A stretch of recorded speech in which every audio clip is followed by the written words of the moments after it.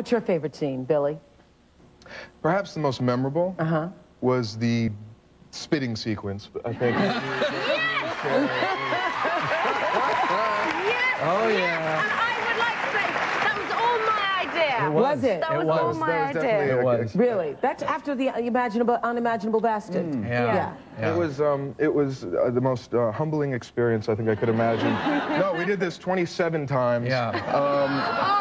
Truly, and I mean, naturally, Kate got better each time, so I didn't want to. I didn't want to stop. She was like getting Really? so good. You did do it a lot. we did it a lot, and she got a little dry at a point. At which point, someone thought of the brainchild of, of um, including a little assistance by means of KY. So I had Oh, like, my. you know, I had all I sorts know. of this. And not nice. They'd run in just before, before you know, Jim would yell action, and this blob of KY jelly on my tongue.